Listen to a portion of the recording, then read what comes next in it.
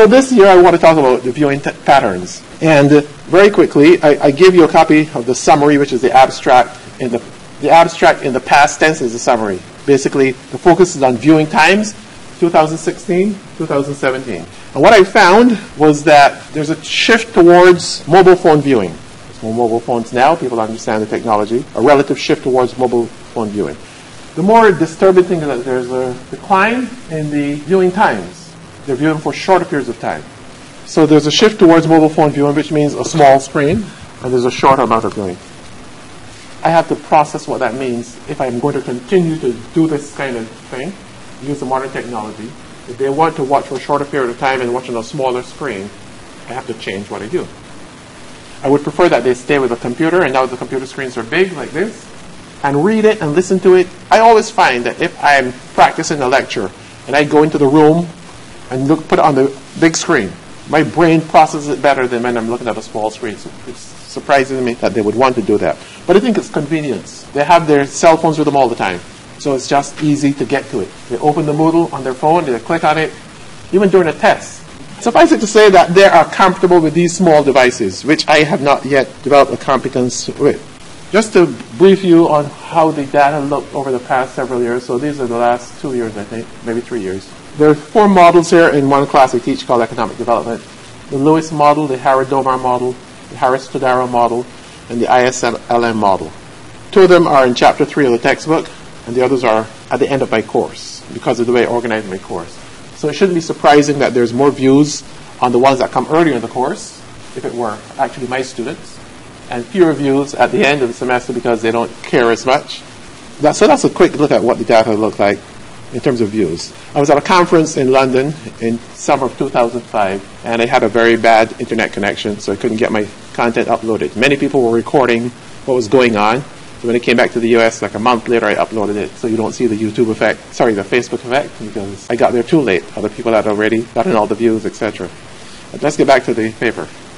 Table one, for the four academic models I showed you, you can see here that the shift is towards more mobile phone viewing. So you'll see the percentages in purple are the positive, and that says the percentage of mobile phone views increase. For example, for the Lewis model, there's an 11% increase in mobile phone viewing, 2017 versus 2016. And if it comes at the expense of those who are watching it on computers, you can see there's a 10% decline in those who are watching on computers. And across these four videos, you see pretty much the same pattern. Younger cohorts even one year after another, are switching towards this alternative. I call it alternative. I think a computer is still a better way to learn than a mobile phone, but that's what's happening. So here I have the data. Let's see. Here I have by viewing times, which is the point of the presentation. And it says the viewing times decrease. So use red to show that the number is going down, and you'll see pretty much uh, across both platforms, computer and mobile phone, the length of viewing time is going down. So this is just focused on the Lewis model. Here broken out by region of the world, yes. How, how long is the, is the original video uh, so I have that information right here. This one is 15 minutes, 41 seconds, and they're watching one third of it, 20% of it. I'm not sure what they're finding, how they, you know, speed learning. And now on YouTube, you can hit, hit double speed. I'm not sure that's good. You can slow it down or speed it up. But anyway, that's what the data are showing. So you'll see again the viewing times are decreasing across the world. Asia, North America, Europe. There was one anomaly here on mobile phones, but I'm not sure what's going on there. Generally, the last column is all devices. By all devices, I mean all devices, not just these two. So the overall body of data. Then YouTube will let me break it up by device. You wouldn't see tablets show up. Tablets have a tiny percentage of views in this academic content. Maybe there are newer devices the phone is convenient. The computer is their traditional way, hopefully, of looking at the stuff. So anyway, that's what the data on the viewing times looks like by region of the world. This is the second model. Again, you see pretty much the same idea. Look at the last column for all devices, and look at the first. Computer times are going down. Mobile phone also going down. Sometimes there's an anomaly in the data. One of the things that YouTube does is if you stop watching a video when you come back, it will pick up where you left off, and it'll count it as one view. I notice it for my own content. It always picks up where it stopped last time. There's a red bar telling me what percentage of the video I viewed. And if it's all red, it means I've gotten to the end, and then it will start over. But anyway, the main point I'm trying to make here is that shorter viewing times. Two data points do not give a trend, but I suspect that there is a trend here. Shorter viewing times. Obviously, if you keep going, you're going to watch it for zero seconds. But somebody watch it for two minutes and come back and watch the remainder, is that? it's one, I think it's kind of it's one view. I think so, but I'm not sure. So watch two minutes and then the remaining four minutes, will that four minutes be counted in the data? I can't. I don't know the algorithms that YouTube is using, but I would say that very rarely would people do that. We're talking about 30,000 views. I'm not thinking it's people watching over and over. Most people, it's like Taste of Detroit. You sample and you move on. And then there are 10 other videos on the same topic, so why would you come into that one? You're more likely to say, give a like or dislike and move on. And if you the test is passed, you're not coming back. So most students will only watch a video once. Took the test, never come back to that video. In fact, what I've observed is that there are fewer views of a video. For example, the Harris Todaro model is viewed in the first half of the semester, and it's not viewed in the second half of the semester. Because if you had a midterm, and it showed up on the midterm, and you don't have a comprehensive exam, you- or even if you do have a comprehensive exam, if you aced it the first time, you're not going to rewatch a video when you already kind of have learned it. So the people who are watching it later in the game, well, their exams were probably comprehensive and they didn't have a midterm. So, so there's a lot more going on in the data that I can process. But I thought the viewing times decline is a nice thing. But the two minutes is also something that is bothersome to me. How much can you learn from two minutes of a video? Clearly, there are people who click on it and move away. So an average is always, I tell my students, averages are like swearing. Economics does not do average because average is not a good indicator of anything. Some people will stay two seconds, others will stay 16 minutes. So the average doesn't tell a lot. Yes. Well, I'm wondering, uh, these times are averages? The average time? Yes.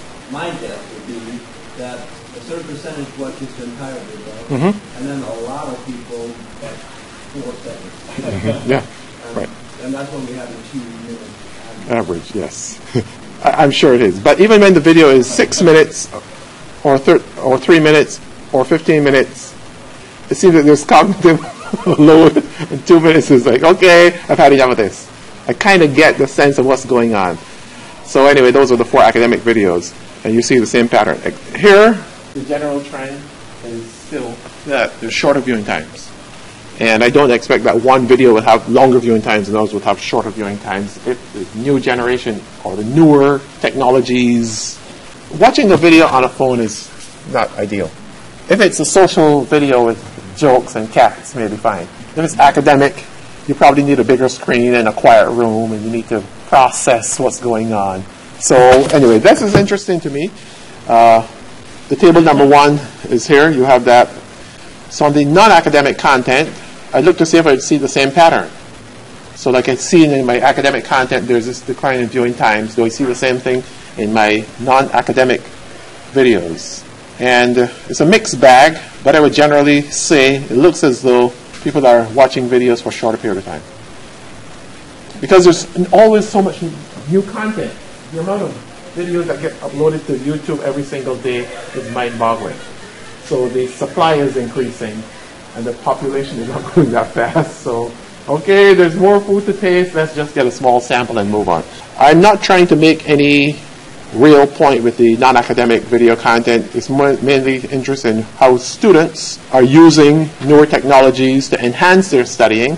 But I thought I would throw in the non-academic to see if I saw the same pattern. And this, this video actually was some ladies dancing, and it's mainly watched by young women. YouTube will tell me the demographic. If you use your phone and it knows your age and your gender, so when I look at the profile, it says mainly young women, 18 to 25 are the ones watching this video. The economic content is mainly watched by males. 67% of the time it's a male watching it, according to the data that YouTube shows the content owner. And this was the opening of the conference. Not a lot there, but again, you see that red, and that red says that there's a decline in viewing times. Certainly on the mobile phone, there's a decline in viewing times. As I reflect on this, I ask the question how does the content creator move forward? If you are creating new content and you have this sense that people want you to stand up, speak up, and shut up, what do you say? How do you say it? How do you get them to engage beyond that average of a couple of minutes? How do you tell the individual this is actually important? And even though you want to click on it and move away and watch the other video on the side, perhaps you need to stay with it. I would love to find a way to make sure that the viewers are not distracted by the 10 other videos on the side. And that's why I used to embed it into the Moodle page where all you could see was what I gave you and you couldn't get distracted by YouTube. In my classroom, I don't allow any technology. You need permission to turn on your computer, your calculator. Well, not really, but I'd say that the first day of class. You need to get permission to turn on your calculator because I don't I am very annoyed when students look down in their lap. We never did that when I was growing up. We didn't look in our lap. So why are you looking in your lap? Well, that's what we do. No. I want to see both your hands, and I want to see that you're looking at me.